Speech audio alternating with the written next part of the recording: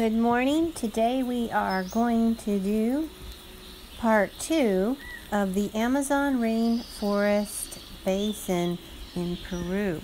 It's a area that uh, eight countries in South America together share.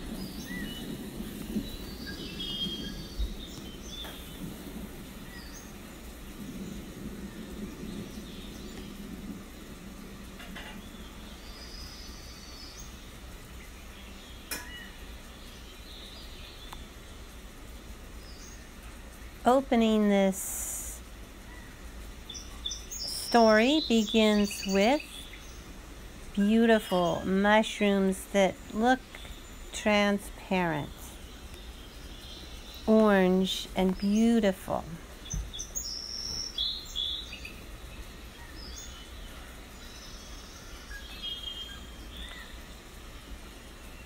Elizabeth and Zinnia moved closer to Zane and comforted themselves because the panther, whom they could barely make out in the nearby shrubs and shadows of the rainforest, were aware that it was a very big cat. The marmoset family and bumblebee bat Zoe huddled closer to Elizabeth, who is about eight years old, and she's in the forest of Peru with her mother and father named Zinnia and Zane, and they have met Cuscos, an indigenous, indigenous native of Peru who lives in the forest. And together with Zen and Zaria, who are the parents of a marmoset little toddler, which is a miniature monkey, and a bumblebee bat who hails from a Thailand cave. Okay, nestled under Elizabeth's hair were um, Zen and Zaria peeking out toward the big panther whose voice they could hear in the shadows. Cuscos replied, Hello, Panther, how are you? Majestical cat of the rainforest. You are welcome to listen to our conversation, and we welcome you. If you become hungry, we trust you will not eat us. The panther replied, I am Zorro, king of the rainforest, and I rule with the jaguar here. I will not eat you, I promise. I will try to help you here in the forest too. I will try to protect you and warn you of any dangers that may be around so that you will be healthy and safe all the time.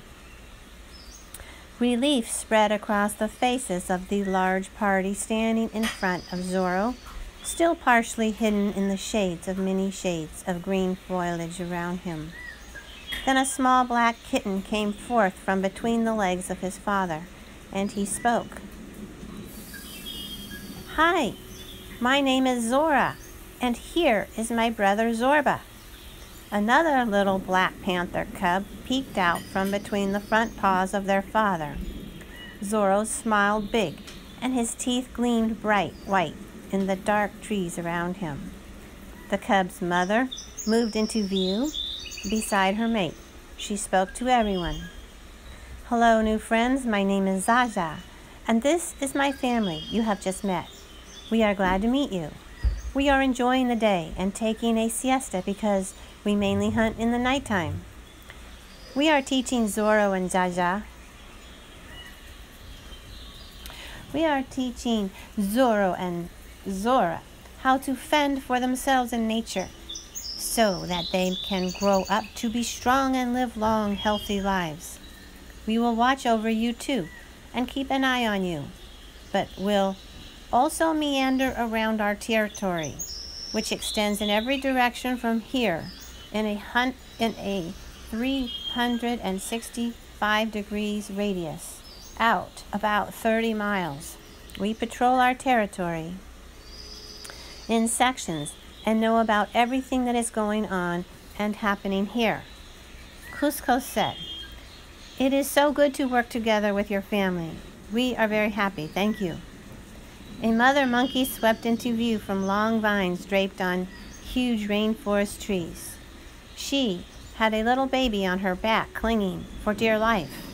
She stopped above the party and of people and held her baby in her arms, well above the panthers and beyond their reach. Mother Monkey said, Hi, I, hi.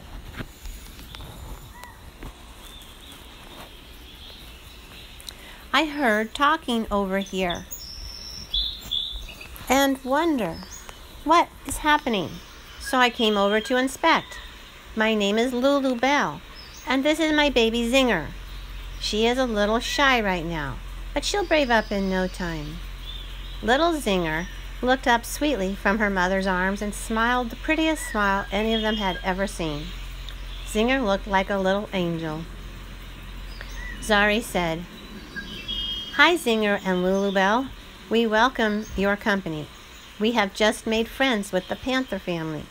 And before that, we made friends with the honeybee, bluebird, and monarch butterfly. We are discovering the world of the rainforest here in the Amazon basin, in the Peruvian rainforest.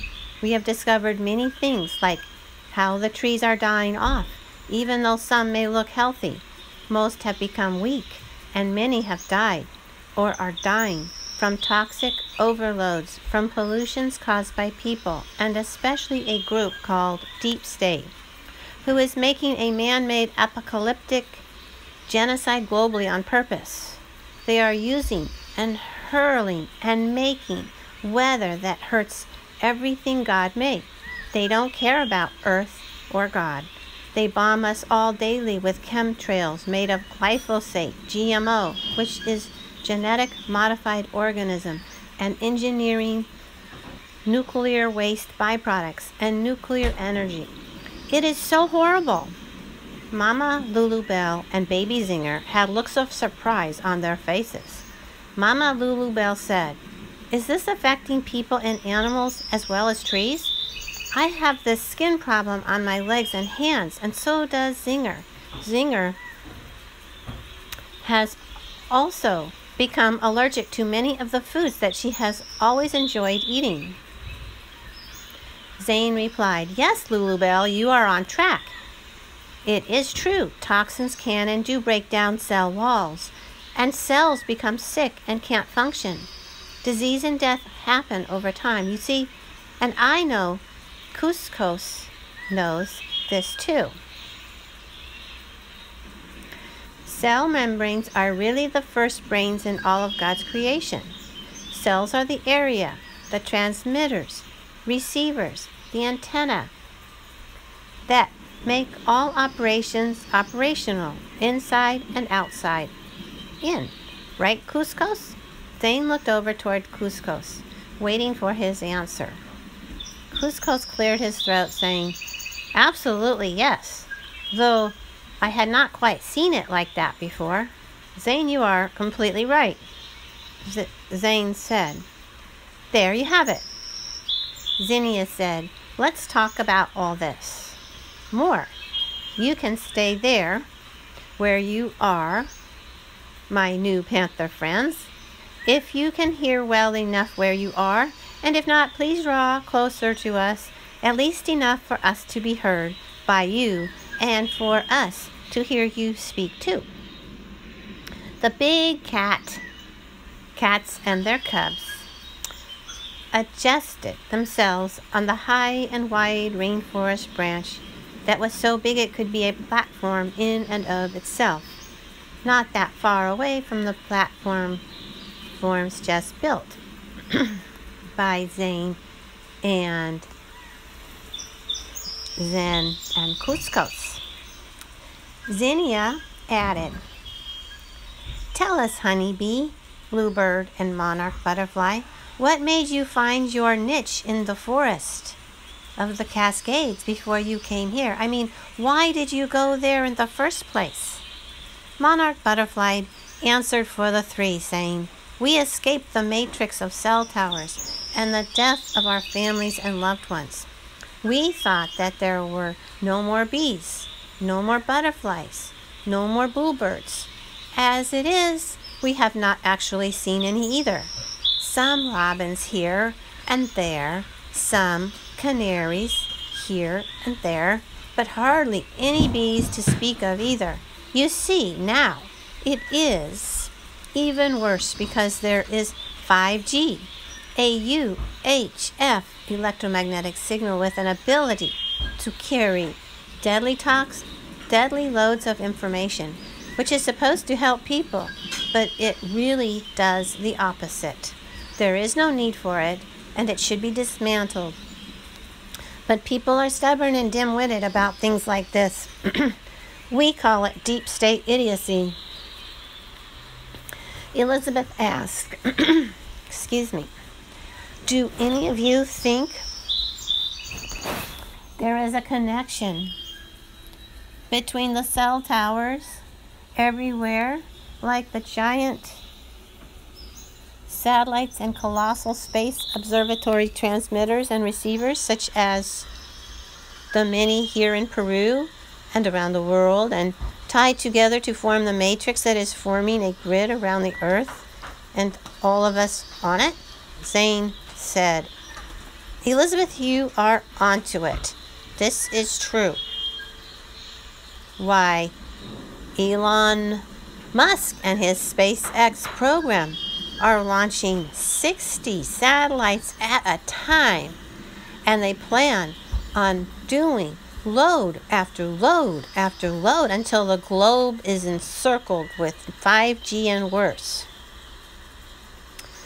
Zane pulled a piece of paper out of his work case and began to draw a picture to show them how the grid looked. Before Zane finished drawing, Zen said, Wow, wow, Wow. Wow. Everyone else repeated after Zen, looks of awe and concern appearing on their faces, one and all. They all comprehended the danger they were in, and the lifestyle they enjoyed and were brought into the world to have. They all felt threatened, and for good reason. Zoe said, it seems like hardly anybody cares about what is going on in the world. How come nobody is stopping this genocide? Is it because they are on the PC and iPhones at every spare minute? It makes no sense that people are not at least paying attention to nature and the skies and the disasters besetting the world non-stop. Cuscos replied, Little Elizabeth, you are very smart, and why other people are taking so long to understand what is happening right in front of their nose is clear. They can't imagine that Deep State could devise such a huge global network and space network together to deliver, manufacture, and continue nonstop to make life a disaster for all of God's creation. That they possibly can, Zane said. Deep State, and they can be called anything, but we know them as such, are a group of people corporations and wealthy people who are so bitter inside their hearts they have virtually lost their hearts and souls because of the hatred they feel towards themselves and everyone and everything else.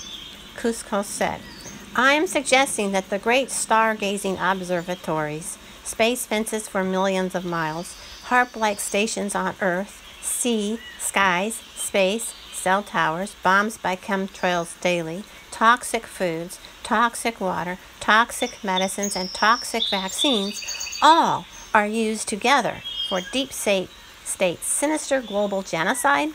They think there are too many people on Earth. In the past, over five civilizations of man have come and gone in a similar way.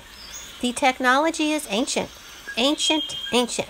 Once they rid of the wor- rid the world of most of God's creation, they think they can fly off in their high speed UFO like vehicles they make to take over other universes, solar systems, and the numerous planets like Earth that are distant but not that far off when one looks at the capability of what technology they have to themselves.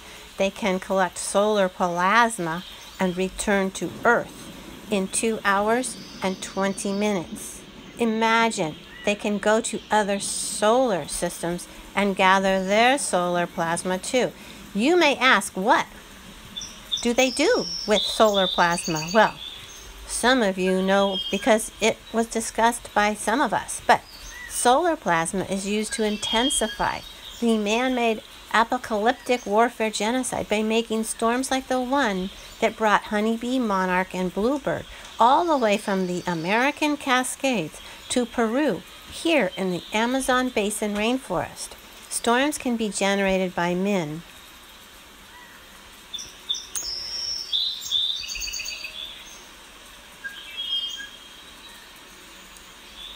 that are storms within storms, and geo and weather and disease dispersal in layers, just like the layers and layers of assaults, like toxins and everything, especially foods, medicine, vaccines, and air and water. The toxins are so bad they sicken us they sicken unto death the animals who come in contact with it in forests and the sea crops so toxic that consumers are sterilized and then further sickened until eventually they die sooner or later. Lulubelle asked, But why are they so deviant? You, can, you know, I can picture what you are saying. Little Zinger said, Mama, and this is sad. A tiny teardrop fell from her eyes. Then more rained down her little cheeks and she snuggled tighter into her mother's fur for comfort. Bluebell gently patted Zinger on her head and held her close. Zane said, You know, it's very weird and makes no sense why Deep State wants to destroy the earth and all the trees and flowers, plants, insects, sea life and sea animals, forest animals, air and water and food. It seems like a lot of bad ideas and agendas are all are at work together in this additional matrix of mixed ideology.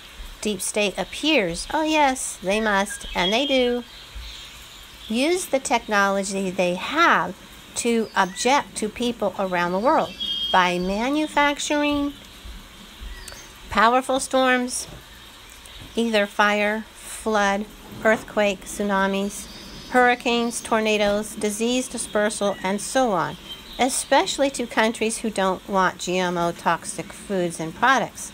Come to think of it, yeah, it's true. Why, farmers around the world are encouraged to grow toxic seeds by people like Monsanto, DuPont, BASF, and Cargill. The farmers soon can't make money, and the dream to succeed eludes them. Their, fa- their farms fail, and often they can't take it and die, and so does many of their family just before Monsanto takes over the farm they had. Monsanto wants these farms to resell and or grow their toxic field, farm fields to make bigger and bigger farms of toxic crops. It is unbelievable but true, come to think of it. And aside, the farmers and some of their family member die of destitution and they are so they are so depressed that they, they just cannot live after they just after the note is passed over to Monsanto and the big banks. Shock of all this news registered on the faces of those present. Sadness followed. The party felt uncomfortable, and the heat of the forest seemed almost suffocating. They all thought, they all sought the shade to comfort them. Zinnia looked at Zaria, saying, So people are targets of deep state because they want a clean, safe, good place to live with decent, pure food and water? Oh my God, this is terrible. And you know those horrible, unprecedented fires raging worldwide? The floods and, oh, like the Paradise, California fire of November 2018. I researched it. The area was bombed by a self guided missile. A military general was killed off. A crooked politi- and crooked politicians were abounding like Feinstein's who are deep in deep state warfare technology destruction and rebuilding as they as they whip around their genocide tools and, and finesse them, as are the Rockefellers and others. They wanted to make Paradise, California, a place number one on the place to live list and it was. Many people moved there. Deep State had other plans. They wanted to build, and still do, many super dams, many super fast trains, and super big toxic farms in the area, and they needed to get rid of people there. They got rid of many people in previous years, like Redding, Mendocino, and Santa Rosa. Horrible fires, followed by horrible floods like never before seen. The Paradise Fire was one of over almost 200 fires ignited in California alone in November 2018. Yep, you got it. Deep state. People were targeted there like they were in Italy, Australia, and elsewhere. People were incinerated in their vehicles, and nobody could count the complete number of missing people because there were only body parts and fragments, if any at all. People in the area had been heavily bombed by chemtrails of all of all elevations, making the skies super toxic just before the fires broke out. A drill was going was ongoing in paradise so that so there was a lot of confusion and people couldn't get out of the area. They were told to stand down and to not try to escape the fire. Even the police told people to stay put and not to evacuate and to not evacuate. Cusco said, Friends, this is not new news. We know this to be true inside, whether it was discussed or not. We all know the truth. How do we change the way this is all happening? We need to take funding away from deep state. Without means and funds, they can go nowhere and do nothing. Zane added, Only problem seems to be that they appear to have no end to their funding, and they tax the tarnation out of every person on earth. The federal treasury, which is supposed to have gold to back up up its spending, is out of gold, robbed by deep state years ago.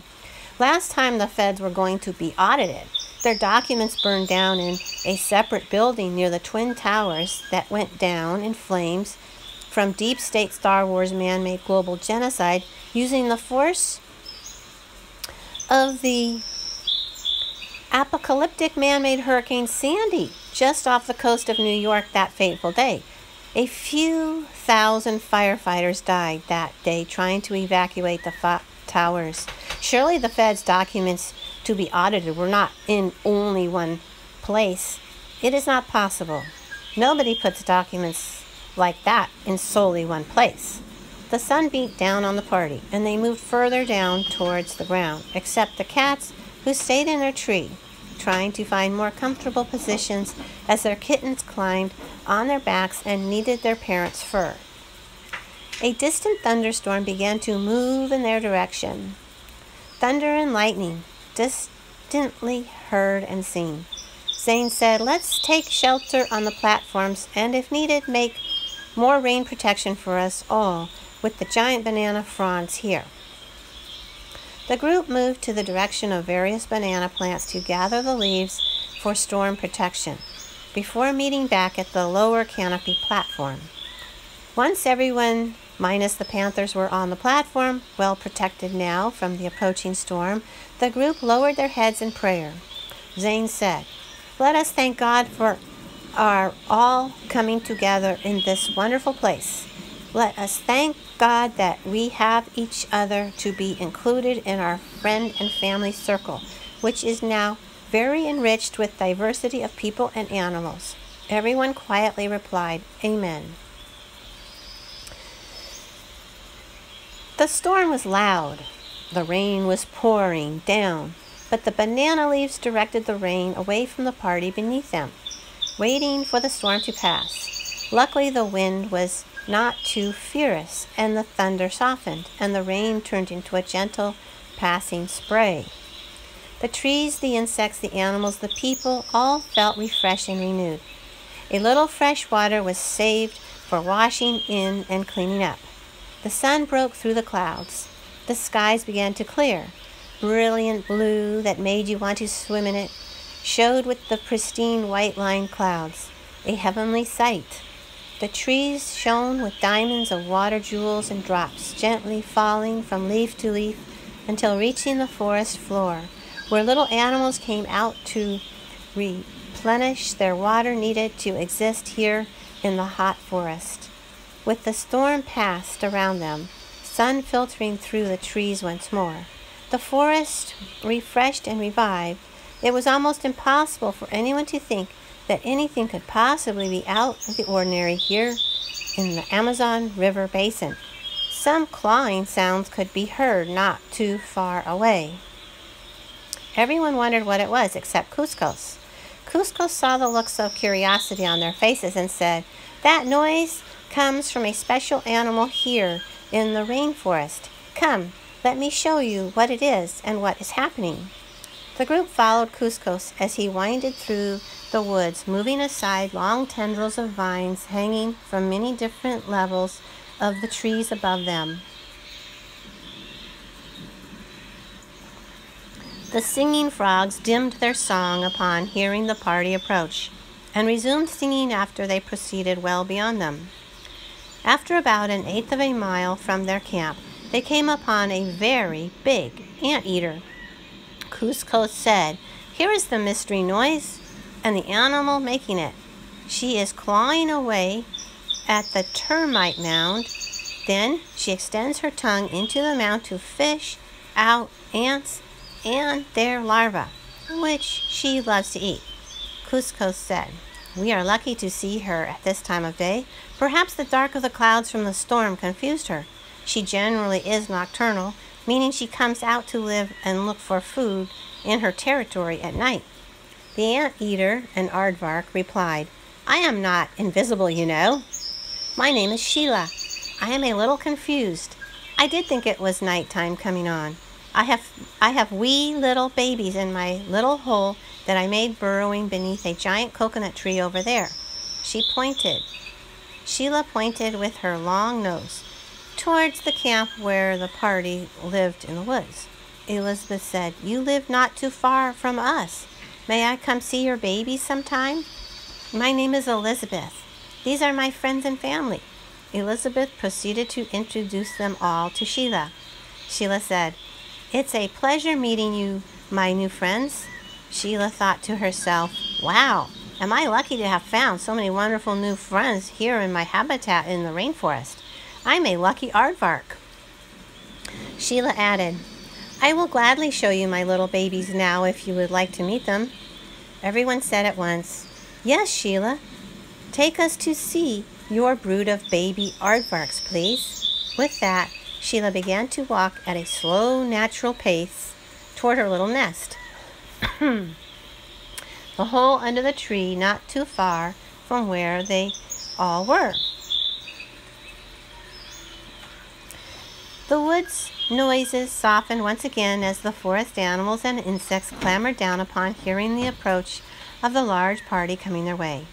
Sheila led the party to her home beneath an old coconut tree in a hole in the ground that she had helped to build with her mate. Inside the hole, she went and brought out one little aardvark baby, which she proudly held up for all to see. Altogether, I have five babies. This one is the only one awake, so I brought her for you to see. Her name is Marie. Everyone beamed at Sheila and Marie. Oh, Marie is so beautiful. What a proud mama you must be. Sheila nodded her head yes. Zara said, Thank you, Sheila, on behalf of all of us for showing and sharing your family with us. I feel like we have known one another for much longer than just today. Sheila said, I feel that way too, about you guys. I must return my baby back to her nest resting area so she can sleep. I will bid you goodbye for now. I will make a note to try to find you and talk with you as often as I can. Goodbye for now. With that, Sheila slipped down into her hole with her baby. The rest of the party returned back to camp a short while later. The day progressed in the rainforest. More food had to be gathered and prepared. Cusco said he needed to return to his village for a little for a while to gather some food and some things for the camp, saying, I will need to be gone for a while today, but when I return back, I will have some food and supplies from my village that I'm going to return with. I will see you all later on. Everyone acknowledged Cuscos. See you soon, Cuscos. Cuscos trudged off, silent as a leaf gently falling in the sky.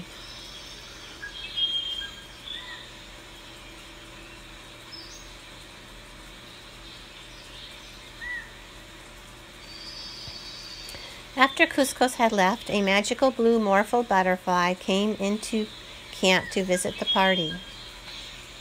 The blue morpho butterfly fluttered gently and flashed his sapphire blue, silk blue wings this way and that in the sunlight filtering down through the high tree tops. He knew he was mesmerizing, and he and he was. Monarch Butterfly saw him first. She was so excited that she burst out. Monsieur Morpho Butterfly, how do you do today?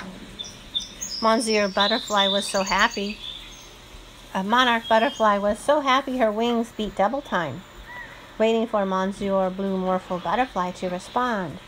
All eyes were on Monsieur Blue Morpho Butterfly as he responded, blinking his eyes and swaying his antennae. Hi, everybody. Everyone, my name is Monsieur Blue Morpho Butterfly, and I heard some voices over here, so I wanted to come and meet you all, especially after I flew overhead and saw the most exquisite and lovely lady butterfly with you. What is your name, precious lady, if I may be so bold to inquire? Monarch Butterfly smiled and blushed, replying, Why, thank you very much for your compliment, Monsieur Blue Morpho Butterfly. More pleasantries were exchanged between the butterflies as everyone else looked at them smiling, except for Honeybee. He had fallen in love with Monarch Butterfly years ago, and they had been best friends, even before they had met Bluebird in the Cascades. Honeybee did not know what to think. He wanted to feel happy for Monarch Butterfly and Monsieur Blue Morpho Butterfly, but he could not do it wholeheartedly.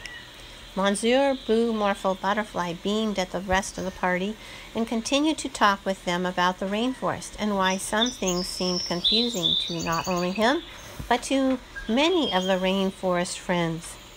As Monsieur Morpho talked, Monarch Butterfly took Honeybee aside and told him quietly, Honeybee, you never need to worry about our love and friendship because nobody will ever be able to take your place. I love you now, and I always will. Never worry, my great friend. Never worry that I don't or can't or won't be there for you always. Honey Bee sparkled like a rainbow. His aura flushed to the heavens, flashed to the heavens and the center of the earth. Honeybee knew this was true and he relaxed in, in his heart. The hard upset pounding subsided into a happy rhythm once again. He loved Monarch Butterfly more than anyone in the world.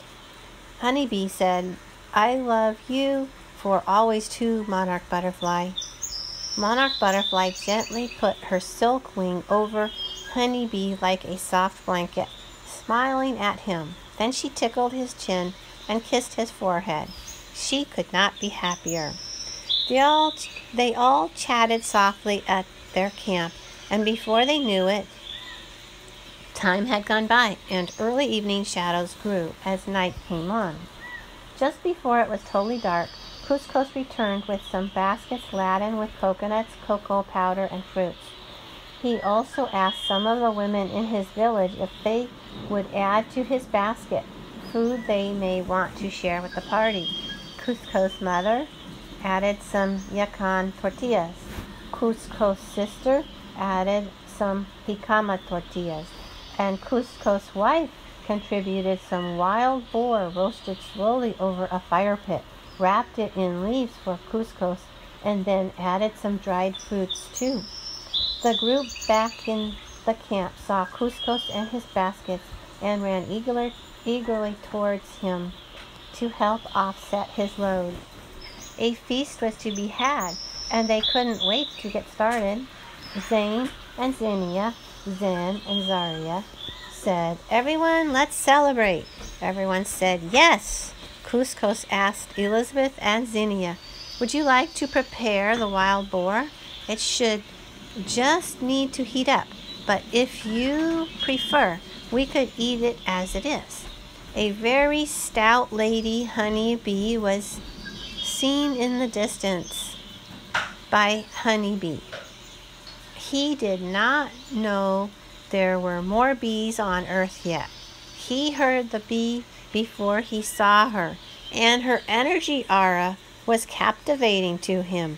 He watched her as she trailed along, skimming some blossoming fruit trees en route to the distinct smell of the roasted boar her fine tuned senses led her to as she moved increasingly closer to Honeybee and camp.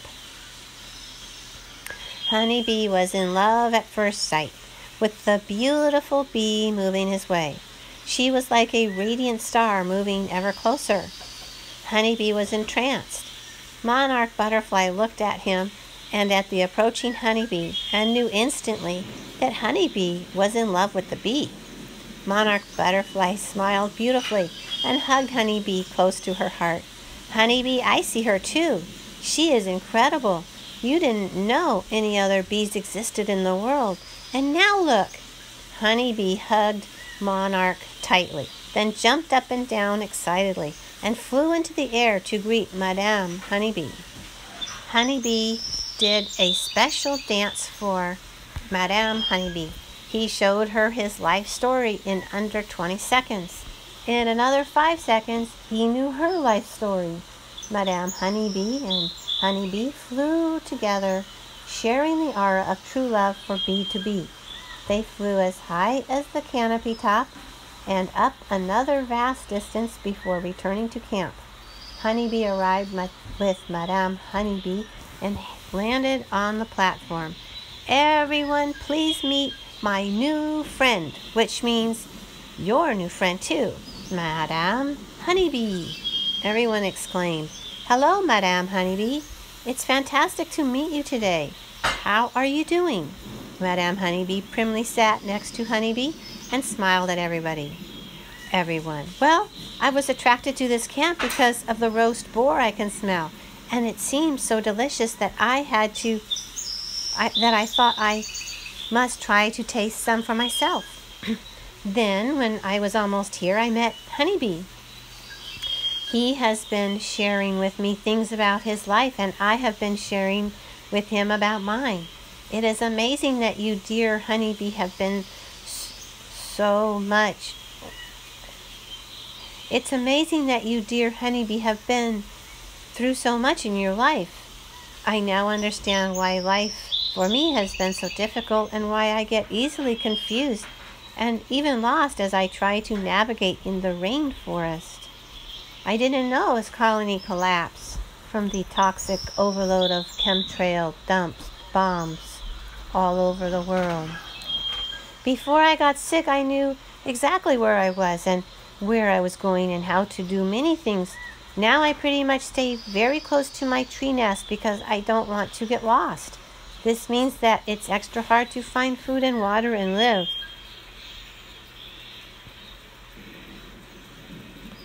There are not many bees in the rainforest that I have met yet. My parents disappeared not long after I was born, and I have been struggling to live from day to day.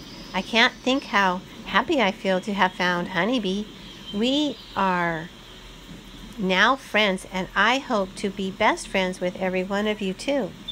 Madame Honeybee had made a very large speech, the longest one of her young life. She was a very she was a little shy and decided to be quiet and take in her new friends and soon to be family in a demure way.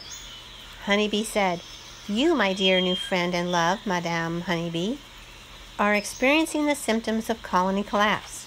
It's going on in all of God's creation, but it's affecting the tiniest insects like us, and the greatest trees too, and everything in between that lives.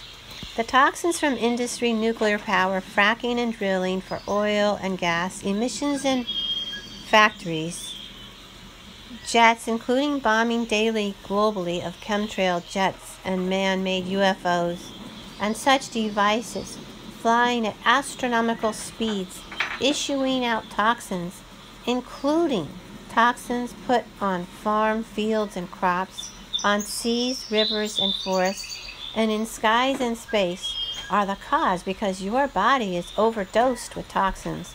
It becomes sick. Fungi and bacteria attack the body, and death ensues because you can't find your way back to your family nest or hive. The UFO bombs chemtrails globally. They are so fast dispersing toxins, mostly nuclear power plant waste and byproducts, that several can lay toxins across have ac- lay toxins across the globe in no time at all.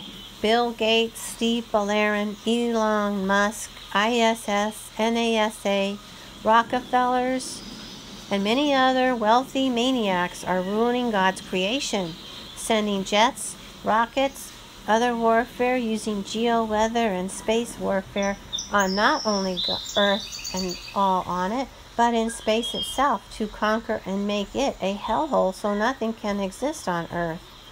Zane added, Remember, these globalites, wealthy, sick people ruining God's creation, feel that they can make lives for themselves living in tons of underground cities globally as the top of the earth is eroded and sickened to ruination.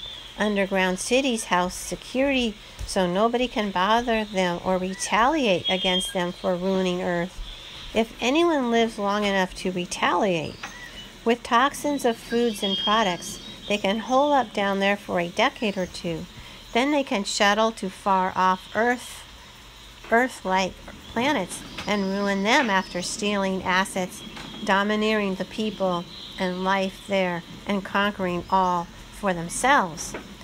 That is why Deep State loves Islam Sharia Muslims and work especially well with them because of dhimmitude. Like meets like. This is not like manifest destiny. No, it is far worse that that that genocide of the Native American people. Over 99% of the Native Americans were killed off and their children removed from their family and reservations to serve the American newcomers. English and the Bible were shoved down their throat, and the only ones who survived learned the American ways. Zinnia chimed in. The American Revolution was bad. The Civil War was worse. Deep State financed both sides of the Civil War and gave far more advanced technology to the North so that the Union Army won. They also paid for and recruited more soldiers to fight the war. The war was never about slavery. It was about controlling the South, winning the war, and taking the land, assets, and mansions all for themselves. After the Civil War in 1913, the Feds were created. The Feds was created. The federal government. The Feds were established as the United States of America Corporation. This corporation, Feds, was established to tax the people in America to pay for the cost of the Civil War. Deep State has since come to rule the world as an entity invisible, they think, as they ruthlessly destroy all of God's creation. Initially, there was supposed to be gold to back up the feds, but in no time they raided it and gave it to themselves, robbed the American people and world of virtually all they had and have. Now they are in the business of making not only genocide to great extents daily, but creating disease and billions of homeless people yearly by man made apocalyptic Star Wars warfare genocide. This makes animals disappear, plants disappear, and trees die off in ever increasing numbers. Elizabeth looked at her mother as she spoke. Elizabeth was very proud of her brilliant mama. After Zinnia finished speaking, Elizabeth gave her a big hug and said, Mama, I love you so much. I love Daddy too. Zari exclaimed, I'm hungry. Can we eat soon? Zen said, Yes, son, we will now. Cuscos helped to distribute the roast boar among the group, and it didn't take long to finish to the last drop. Night came just as the party retreated to their positions on the upper platform. And as Everyone was ready to rest. They looked up at the skies and saw the last of the storm clouds move past, thus clearing the sky for the brilliant rainbow Milky Way to radiate the night sky. The abnormal space activity was in full swing. NASA An ISS space station went by at high speed. Drones and satellites swept past, all going in the same direction except one Chinese satellite that went the opposite direction. Further up was the UFO made by men of deep state, flying at astronomical speeds, cloaking in and out, moving through the vast wormholes and black holes that would move them all double and quadruple the speeds on their quest to conquer new lands and planets. The nonstop man made maneuvering of spaceships and man made UFOs, space stations the size of cities moving along high above Earth, so big, so vast, lights flickering as they move through space, big ears of space aimed at Earth to spy on all of God's creation. Who would believe? Who wouldn't believe? Why, why should anyone care what a few very bad people are getting away with? Parents forgot to teach their children all the things they learned to survive, and now they didn't seem to want to share the hardships of life with youngsters. Yes, yet it is a responsibility as a living being, especially humans, to protect God's creation, to love and respect and honor God's creation now, in the past, and in all of the future. In the rainforest, little fireflies lit up the forest in a magical and beautiful dreamlike way.